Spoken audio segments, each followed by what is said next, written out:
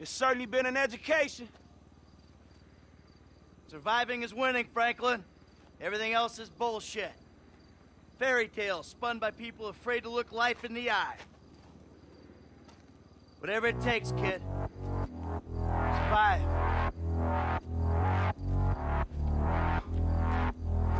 Damn straight.